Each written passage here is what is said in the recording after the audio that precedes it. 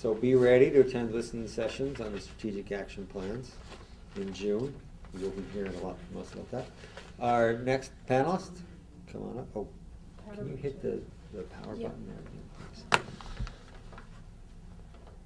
This is like a, it's kind of like that disco machine itself with the flashing lights and everything all the time. It's just the gift that keeps giving. Okay, our next panelist is Dr. Emily Pidgeon. She's the Director of Conservation International's Marine Climate Change Program. Focused on finding solutions for coastal marine adaptation to climate change and on developing marine-based approaches for mitigation through blue carbon. After completing her PhD in environmental engineering at Stanford University, Emily was a research scientist working on coastal ocean oceanography problems at Scripps Institution of Oceanography. At Conservation International, her primary focus is integrating ocean sciences into effective conservation strategies and field implementation, including addressing the impacts of climate change on coastal and ocean communities and environments. I am very excited to learn about blue carbon myself. So, Emily, I don't know that I can live up to uh, such expectations, but we'll try. So, um, I don't know how many of you have uh, been in touch with the um, the growing uh, uh, thinking on um, terrestrial carbon. Um, there's uh, through the Kyoto Protocol, which we can sort of discuss at length later, but there is a, uh, a growing movement to um, uh, uh, to um, consider the value of uh, terrestrial ecosystems, often um, uh, forest systems, for their capacity as both stores um, and sinks of carbon, um, carbon dioxide from the atmosphere. And looking at sort of financial mechanisms for valuing this um, and uh, giving people credits through a number of different means uh, for uh, that, the, the, for preserving or restoring um, carbon systems terrestrially. And so it's only in the last year or two that a uh, number of organisations have uh, recognised that there are enormous carbon stores in coastal systems. Um, I'd like to call out to Restore America's Estuaries, who are were um, probably one of the first groups in the world um, to really start looking at this with some real seriousness. Um, and uh, um, I, the picture up here is of a um, marshland. Is this one I've stolen from you? San Francisco Bay. Yes. Um, and uh, you can see that there are these enormous deposits of carbon, the dirt there, if you like, um, resident underneath um, these uh, wetlands. And we know, for instance, we know, for example, that between 30 and 50 percent um, of human-caused CO2 into the atmosphere, so climate change causing CO2, um, has been absorbed by the oceans generally. Um, and that can be compared to 20% for forests. So the oceans are actually more important than forests for absorbing carbon dioxide. and um, uh, as I, I just previously mentioned, most plant-based ecosystems, whether they be a forest in the Amazon or one of these coastal systems, um, uh, take uh, carbon dioxide from the air or water around them um, and store it either in the plant, which if you're a tree in the Amazon is a very large store of carbon, and you can see from uh, these cases that the amount of carbon actually in the plants probably isn't very much, um, or in the sediment below them, and this is where there's a difference between the two. That in the Amazon there's not much carbon, uh, or relatively uh, not as much carbon um, deposited beneath the, uh, the plants, but we have these enormous, very deep systems um, of uh, um, carbon that we find in a number of coastal systems, um, and specifically that we're looking today at salt marshes or the, the systems that uh, Steve looked at, uh, mangroves and seagrasses, um, where um, and this carbon builds up over over um, time periods of hundreds to thousands of years. Um, so these high, high carbon sequestration capacity and the amount stored there strongly suggest that conservation and perhaps restoration of these key coastal marine systems may be a very cost-effective tool in mitigating climate change, one that we haven't really looked at, and uh, potentially one of the very few low-cost options for actually removing carbon dioxide from the atmosphere. Next slide, please. So, um, it's always very hard to give a lecture at sort of five o'clock on a Saturday afternoon. It's never very popular. But anyway. And there's a cocktail party. Well, see, if you have the cocktails, you might actually absorb more of this. But just to go over this very briefly, um, this is a comparison um, between these uh, coastal systems, the seagrasses, the salt marshes, and the mangroves, um, with a number of tropical forests, which is the systems that people have traditionally been thinking about this carbon sequestration issue. And the first thing to note, you'll see that um, the marine systems that we're looking at, typically at least 80% of the carbon is in the sediment below them. And um, uh, if we think about just the, the sort of green stuff, the foliage, the, the, the plants in these systems, yes, the tropical forests do actually present some of the best options for carbon storage. And that's where people have been looking. Um, and, and when we think of uh, carbon in ecosystems, when we think of the Amazon, it's that those green bars that we've been thinking about. However, if we start to include the um, carbon in the soil in these systems, um, and the carbon that's shown here is only for the first metre of depth. Um, and typically in these coastal systems, it's many, many more metres deep than this. You can see that uh, um, the coastal systems are incredibly efficient, and in fact much more efficient um, than the terrestrial systems that we've been thinking about. Um, and that, the other thing that's interesting about these systems is that the carbon sequestration in coastal systems pretty much continues um, uh, for centuries. The terrestrial systems typically, there's a um, large burst of carbon sequestration that asymptotes off as the, the forest reach, reaches maturity. Um, however, these coastal systems, as we've been hearing, are being lost at an alarming rate. We know that 35% of the world's mangroves have been lost, 29% of the world's seagrasses have been lost. Tidal marshes, the uh, estimates vary great, so great, um, significantly and over a large amount because uh, they've been lost for such large periods of time that it's very difficult to come up with an estimate. Best estimate that I've seen is about 50%. Um, and additionally, about 2% of these systems are continuing to be lost globally every year. That's four times the rate of tropical forest deforestation. Um, degradation of these systems not only results in um, uh, reduced natural sequestration, so when we degrade them, we not only lose their capacity for um, storing the um, carbon dioxide, um, but uh, these sources then become continuous sources of climate change causing CO2. So when you take the lid off these systems, this carbon in the sediment starts eroding away um, and uh, into either the atmosphere or the, the water and becomes a continuous source of CO2, a continuous climate change causing um, uh, um, emitter. Next slide. Um, so I'm going, this is an example that I've actually taken from Steve here, um, some work that he has done. Um, and the emissions that I've just discussed, um, these emission, continuous emissions that you get from degrading these systems are very significant. Uh, so this work that was done with uh, IUCN and uh, in partnership with Steve, um, we know that uh, soils vary um, in carbon content um, across landscapes, but a typical coastal uh, wetland releases about 1.1 megatons of CO2 per square kilometre for every metre that you've lost. And again, it's five o'clock and we're before cocktails, so you ask, what does that mean? So if we look at this wetland, which is the Sacramento Joaquin Delta, the one that Steve was just showing previously, and so uh, they uh, calculations uh, show that drainage of about 1,800 square kilometres of this that um, is historical, and again we saw that in the maps, the um, historical evolution of the maps that uh, Steve showed.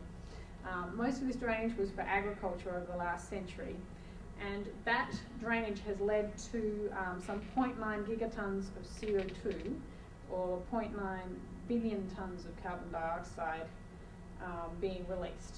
And um, this is a quarter of the total above ground pool of carbon in Californian forests. So it's, so it's the same as um, the release of a quarter of the carbon in California's forests has been released due to um, uh, drainage of um, this one, one delta. San, and, and, and we know that there are many more wetlands in California. Um, now that That's thousands of years of carbon released in about 100 years. Um, and so, and this is a continuous source. Each year, between five and seven and a half million tons of CO2 continue to be released from this one delta. Uh, and this is equivalent to one, one and a half percent of California's annual emissions, which is pretty significant numbers. Um, so where, this is where the restoration work that Steve is doing, this wetland and its potential elsewhere, is incredibly important because by restoring this and putting the lid back on, the natural lid back on this, you're doing two things. You're arresting those emissions. And uh, you are also um, restoring the capacity of these systems to, to sequester further um, carbon dioxide. So there, there is potentially good news here, and restoration of these systems is, is it clearly it's, better to not drain or destroy them in the first place.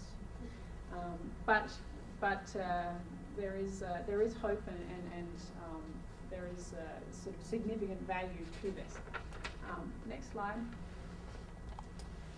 So um, the real question is, can this blue carbon, if you like, leverage better management, conservation, and restoration of these coastal systems? And there are a number of approaches that could be taken here. Um, we can use this uh, to, to uh, increase recognition of the mitigation value associated with these systems uh, through national policy and action, um, and then through international means, working with the IPCC, UNFCCC, um, and some of the ocean policy mechanisms. Um, on the ground at local levels, we can be um, looking at uh, improved uh, management and regulation, um, specific actions aimed at uh, ensuring the, the high carbon systems uh, maintain the store carbon.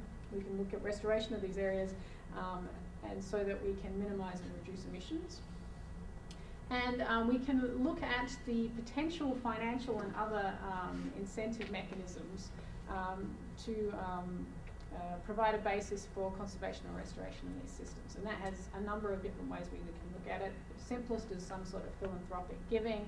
Um, that goes through some of the more innovative conservation incentives that are um, being sort of developed right now through to um, financial incentives for actual carbon credits. Now, this has not been done terrestrially yet, and is still somewhat controversial, um, but uh, we need to be looking at these things. So there are, but the, uh, the devil is in the details here.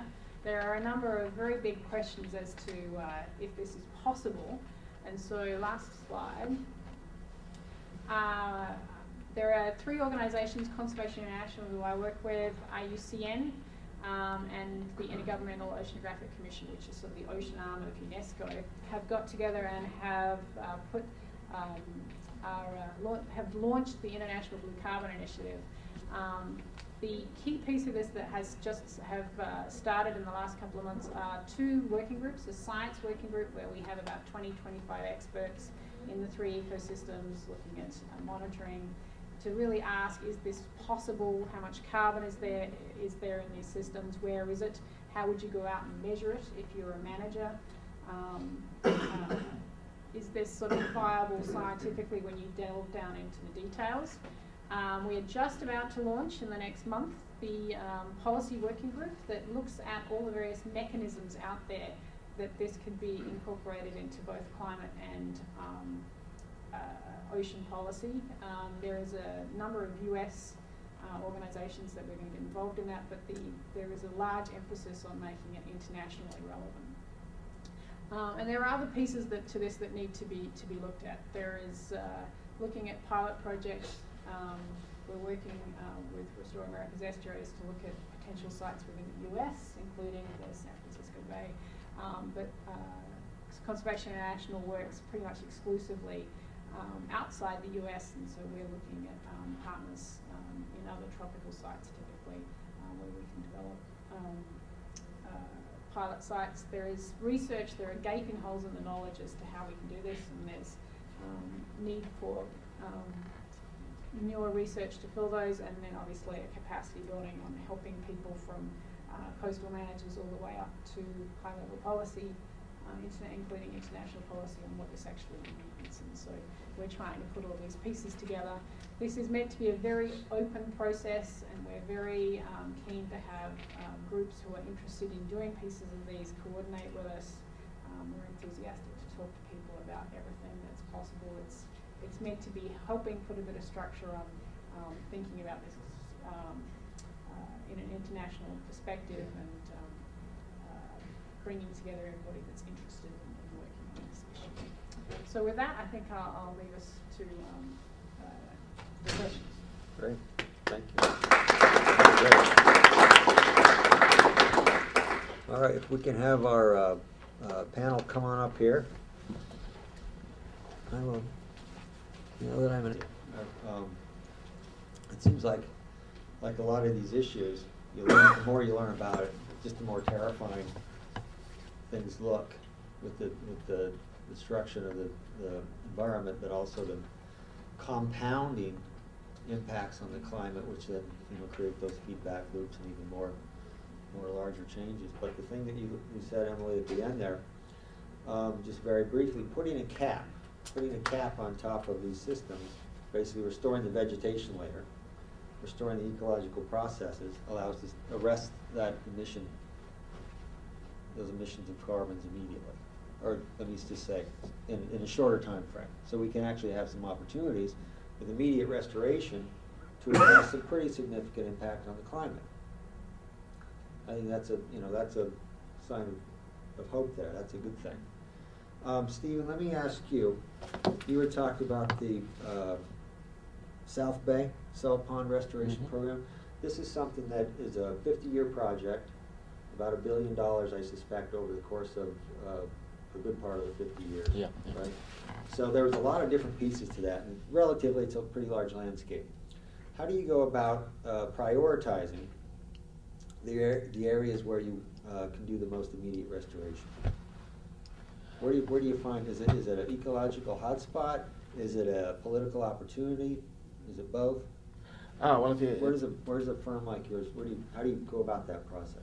well, wi- within the South Bay Salt Ponds project itself, um, we have a lot of play available there um, because the state now owns all of the land, and um, it, it's, it's identifying. You know, in part, it's you know some of those salt ponds right now are really good habitat for endangered species, which is both good and bad because if you want to, there's conflicts with restoration. And so identifying which of the areas are most readily available for restoration is, is, is one of the first tasks. Where can you do it without causing any flooding issues, etc., etc. And so, of course, the first sites we did to make sure that we had a project in the ground within five years was clearly pick the easiest one and go with that, and that's one of the ones on the edges. Um, but it, it becomes progressively more complicated as you, as you get further into it. Um, across the whole bay, it's more opportunistic. There's a whole strategy, there's a plan, there's a bay, a bay plan that exists, you know, where people, scientists and uh, conservationists got together and identified, you know, what could they do within San Francisco Bay. And then as land becomes available, then they pick off pieces from that plan. So the most critical element really is to have a plan in hand where you can say, okay, this is available, what shall I do with it? I'll do this with it. And that was, that's probably the most important thing you could do. Tim, you gave, you gave us the, the vision thing, right? The big scale, think big, That's what I was shooting for. which is a great idea, I think, we can all agree. Um, Look, you, you worked on some, uh, you know, pretty scalable restoration projects, particular streams, particular watersheds, thinking region-wide. Um, thinking even broader with the, the network of Restore America's Estuaries groups, maybe a national strategy. Um, where do you start? You're more on, on the, I'm picking on you now because you're more on the East Coast and, you, and you've dealt with uh, New Jersey and the Atlantic coast there, which has had a pretty long history of human habitation and land change. Right. Right. So what are your some, what are your priorities there when you think about coastal restoration in an area like that? Are you focusing on particular uh, habitat types? Are you looking at endangered species and building cores around there? Well, I think you do- Where, where do you start in building the vision thing? I mean, we, we run the same sort of triaging that Steve was describing. Um, and, and part of it is because we, we like to work locally up and then from the top down at the same time. So on the Barnegat Bay projects, we knew that the science was telling us that stormwater was the vehicle by which the nutrients were coming into the bay. And we knew we had a huge, uh, there's literally uh, thirty percent of that watershed is urbanized. So we knew we weren't gonna be able to, to restore the bay or, or uh, halt its degradation by simply preserving the rest of it. We were already over thresholds that the science tells us are, you know, the triggers for eutrophication. So, um, and then, and then it had the added value of being, as I said earlier, sort of construction project oriented. Um, And, um, and we knew that, um, um, that would present us opportunities to bring certain parts of the political pieces into play there.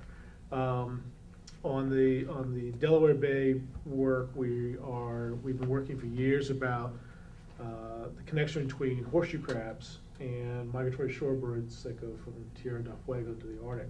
Stopover, they, uh, the, the horseshoe crabs were severely overfished in the early nineties.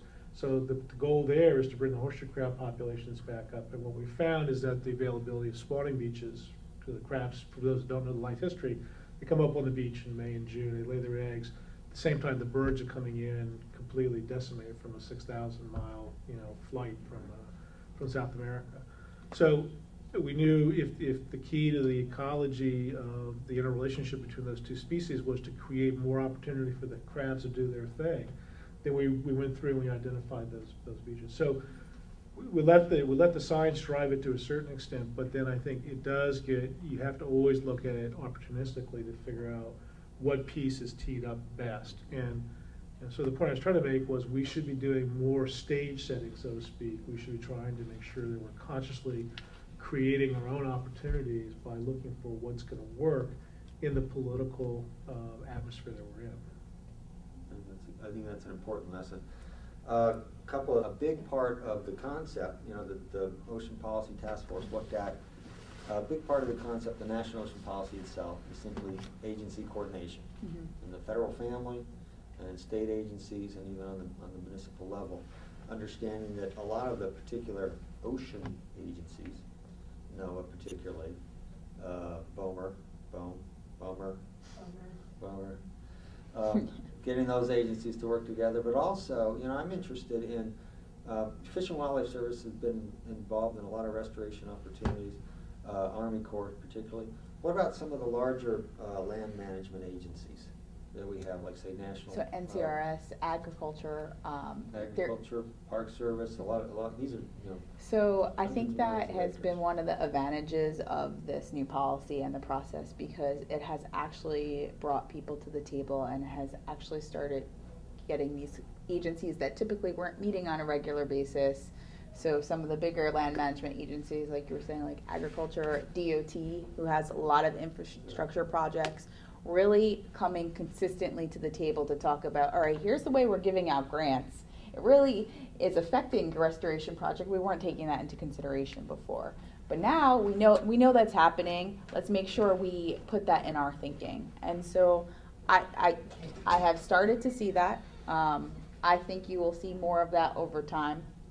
I think I'm sorry that was a little bit wonky what I talked about all strategic action plans, but um, it has it has been essentially the forum to get people and these agencies, these land management agencies, to start thinking about some of the downstream effects of what they're doing upstream, um, and vice versa. So, I, I, I didn't know, don't know if that's what you were hitting on. Well, do you have I- another I think, uh, You know, we have ocean agencies that Mhm. generally uh, uh, tend to work together well, sometimes they Yeah. don't.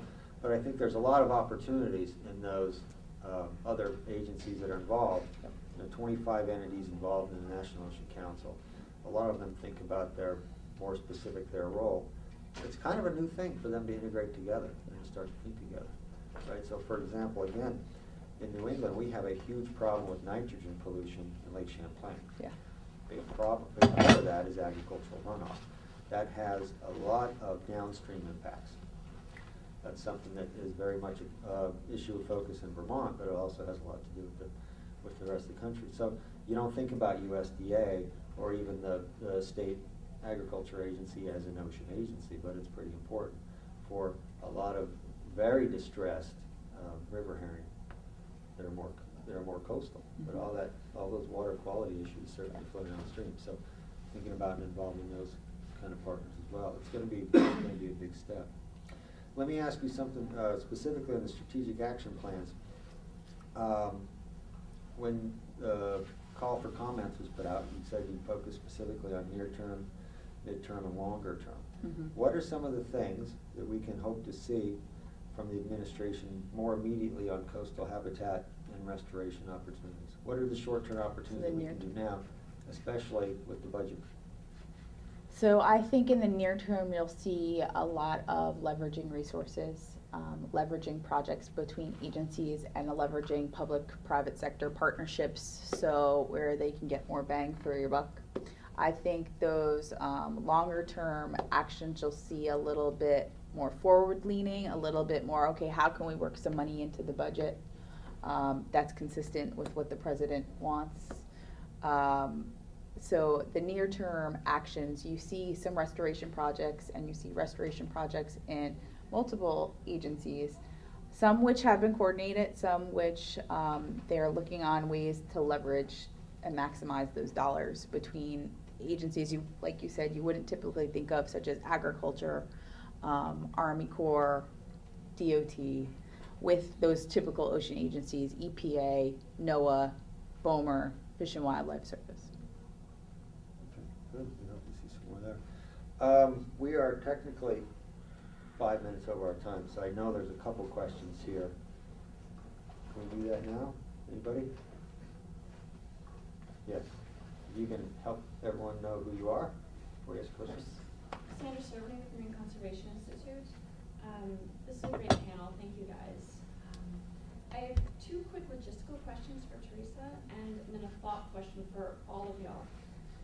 Teresa, beyond NOAA, what NOC members are including um, National Ocean Policy, CMSP, any of that funding in the FY, uh, the fiscal year 2012 President's budget? And will the regional planning bodies be used for regional priority setting for non-CMSP national priority objectives like the restoration objective? And then for the big thought for all of y'all, restoration in the ocean wasn't really mentioned, and it's hard. Can't drive a bulldozer out there. Can we talk about ocean restoration beyond the nearshore environment? So I can start and answer those two first questions. Um, first, or the second one on the regional planning bodies, those regional planning bodies will really be focused on CMSP and getting that process up and running, at least for the first couple of years. Um, I think it depends on what the regions want to do um, down the road and, and how they form them, whether they use the re- existing regional ocean partnerships, whether it's a subcommittee of that, whether it's a separate body. Um, I think that they can definitely be used as a seed for those regions who haven't had traditional regional ocean partnerships to then continue dialogue into other areas. But for the first couple of years, they will be just focused on the regional planning bodies. Um, Who will be the priority setting entity then for the restoration efforts? So the regional, the, so that is a good question. Part of this strategic action plan is talking about specifically on regional ecosystem restoration efforts. They have been asked to prioritize um, areas in that plan. Um, it's not an easy task because there are a lot of efforts across the country. Um, and I think it's actually been something people have been struggling with of how do you prioritize one area versus another, but you have to start somewhere. So you might see some pilot projects come out. You might see um, some of the larger efforts that have been ongoing getting better aligned with the National Ocean Policy. So we have a lot going on down in the Gulf. We have a lot going on in the Great Lakes. Um, I better aligning those efforts with what the National Ocean Council is doing as well. Will you? I think you'll see in the near term. Um, question as a follow-up right there. Yeah. Who are the people who are on these strategic planning councils who are making these decisions and what's the citizen role in that? And I, don't mean to skip your question. Yep, that's a very good question. So the way the National Ocean Council is constructed, it has two interagency policy committees, one that's focused on ocean resources and one that's focused on um, science and technology. And those two bodies are the bodies that are responsible for the strategic action plans. The National Ocean Council ultimately has the ultimate decision at that level, but those two bodies are really the bodies that operationalize these decisions. They're made up of the 27 entities that, that sit on the National Ocean Council. Um, and so they, that would be the bodies that are responsible. And then to your second question, how are citizens and stakeholders really having input into this process? There are several ways. So there are two advisory bodies to um, the National Ocean Council. There is a stakeholder advisory body, ORAP, um, which has served a different role in the past, um, which is the Ocean Resources Research and Resources Advisory Panel. Um, and you have a broad suite of stakeholders on that, from academia to industry, um, across the board. So they have a direct, ongoing role in making sure we are taking into consideration and looking across the board. Um, the second body is the Governance Coordinating Committee, and that is actually a non-FACA um, body that's made up of state, tribal, and local representatives. So they really are focusing on okay, how are we integrating across the levels of government? Here's what's happening in our region on the West Coast, or here's what's happening in our region in the Pacific Islands. Uh, is that being taken into account? And, um, and so they're there to advise, and that's a new body. They're there to advise the National Ocean Council. Um, in addition, um, they have in the process, and I hate talking process, but in the process, they have tried to really create opportunities for stakeholders to have a broad and continual level of input into these priorities. Um, the regional listening sessions coming up is one. Uh, and the and that outline these are just early in the process draft outlines that are coming out. So that's why we are coming out with them now because we want people's feedback. We really want to get that input early into this process. There will be another opportunity once the there is actual full draft plan um, in the fall to comment again. Um, but we want to get in the drafting mindset um, and in the drafters minds what people really want and and have that factored in. So I don't. I hope that answers your question. And then to your other question on the dollar figures, um, I everybody I know is looking at their budget during this tight budgetary times. The the fiscal question, the budgetary question always comes up. I think besides NOAA, there are definitely other agencies looking at their um, at their funding and their budgets. I think some of the agencies are waiting to see, okay, how do we fit into these action, these specific actions that we're identifying to redirect some resources to, to help make this happen. Um, so that thinking is going on at the same time we are trying to develop these plans. I think in the out years, so FY13 and beyond, one thing that the EO created and the National Ocean Policy created is that this National Ocean Council will sit down together with OMB and talk about okay, how do we better coordinate across all these agencies the ocean budgets? Um, and so there will be a budget guidance memo for those out years and then continuing on. So first couple years it's going to be a little bit harder uh, because just by nature of the budget planning process and how far out that starts but that that is being taken into consideration Um, does anyone have any deep thoughts on the ocean restoration component? Start with the estuaries. Small, small topic. yeah. Start with the estuaries, you hear that? Great idea. Why is that, Tim? Well, I think, uh, uh, Dr. Earle, I think, mentioned it, you know, I mean, or somebody mentioned it earlier in one of the panels. I'm not quite sure, so when we say, what is ocean restoration, what does that mean? Uh, we're talking water quality issues, we're talking about the ecological, you know, structures between the fish, Right. uh, probably the living populations out there. And, you know, and from my mind, a good portion of those ecosystems started from the shore and work out. Yeah. Stephen made the point in one of his slides, um, there was a bulleted, a list of bullets, eight or so. Um, create, recreate ecological processes, don't just mimic structure. And I think that is a very important lesson that's been learned over, you know, since Aldo Leopold, since the, the history of restoration, as we've actively tried to implement it and learn from successes and failures, that's an important part. Estuaries contribute at least, I'm gonna say seventy-five percent, because Jane Lubchenco said that in the past, uh, session. Seventy-five percent of, um, some portion of their, I'm gonna get this wrong now that I said that, I mean, some portion of, of their life cycle. Life history. So life history, seventy-five percent of ocean species benefit from estuaries at some point. So think about it as nurseries or as fountains or something, it's a great place to start. Estuaries also involve what? Freshwater and saltwater.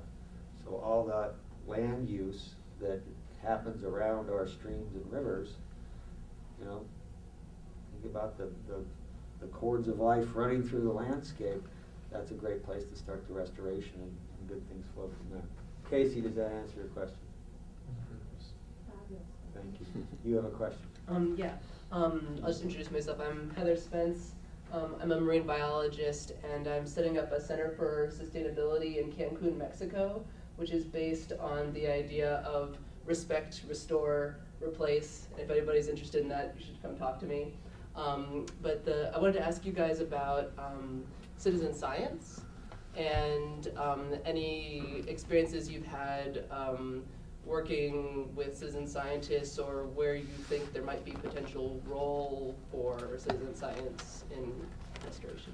The, the, the Littoral Society has a fish tagging program that's forty-five years old. So right now, we have about fifteen hundred recreational anglers on the East Coast primarily, who uh, catch and release, you know, um, it, it started, it really started on, on- we actually started sharks back in the mid-sixties, and then grew, got kind of focused on game fish, striped bass in particular, but, uh, and we collect all that data, it's reported back to us, you know, fundamental biometrics, and we then collate it and give it to National Marine Fisheries Service. And, and in my view, you know, it's been involved in for you know, six or seven years, and out for forty-five, um, the information is not being used well enough, so, but the, but it's collected very well, and the Atlantic States Marine Fisheries Council certifies the program, so their scientists have looked at the way the data is collected, the way it's managed, the way we sort of safeguard it, you know. And then, um, fundamental part of it is we don't try to manipulate the data at all, we just collect it and we send it to NMFS and, you know, then they use it, you know, uh, for various things. That's a good- We, we have lots of experience working with uh, countries around the world um, with uh, sort of uh, what, what's called with integrating science into the local coastal and ocean management and the citizen science, if you want to call it that, is, is, a, fun- speak up a is a fundamental piece of that. I can give you a number of examples um, uh, in a number of places. We, one that comes to mind is that uh, we've been looking at spillover effects from MPAs in Brazil, and the local fishermen are very much on board with the no-take areas because they were actually out there counting fish and have sort of been very much involved in the data collection associated with those spillovers. So um, it's not my work in particular, but uh, if you wanted to contact me afterwards, I think my email's around. I can connect you with the right person at CI that, that's been doing that work. Okay, uh, we're about fifteen minutes over our uh, established time. I want to have a, a reminder, a recognition, and a thank you. Reminder is that the strategic action plans for the National Ocean Policy will be out, the outlines will be out on June one. That will trigger a month-long, month-long, we can say, Yeah. month of June, uh, session of, a round of listening sessions in different regions across the country. This is a phenomenal opportunity to get involved and actually help to create what the National Ocean Council is gonna implement, how they're gonna implement the National Ocean Policy. There's nine priority objectives, so each priority objective will have a strategic action plan. Ecosystem protection and restoration is one of those. So that's a, that's a reminder.